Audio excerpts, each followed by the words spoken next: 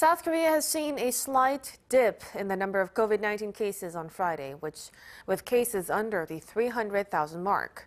Earlier in the day, the government announced adjustments to the medical system to make sure it can handle a growing number of severe cases. Choi Min-jung has the story.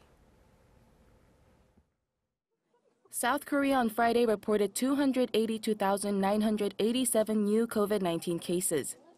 It's a drop from the previous day, but this could be due to fewer tests being done on presidential election day on Wednesday. There are currently more than 1,100 people in critical condition, and there has been another record high of 229 additional deaths.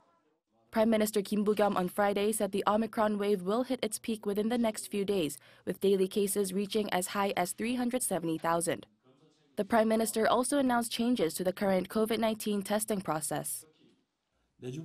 From next week, officials will approve rapid antigen test results provided by professionals as being official, even without results from PCR tests. Literally, it will be a rapid test, which will allow us to preemptively prevent further infections. Health officials have said PCR test results are positive 90 to 95% of the time when they follow a positive rapid antigen test. This only applies to rapid antigen tests carried out by medical experts at hospitals and not the self-test kits done by people at home.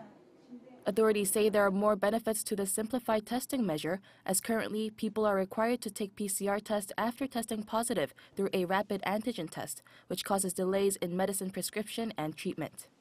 The government has also decided to allow patients already in hospital who have mild COVID 19 symptoms to be treated where they are in regular wards starting next week.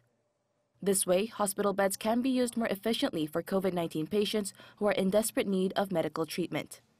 Choi Min-jung, Arirang News.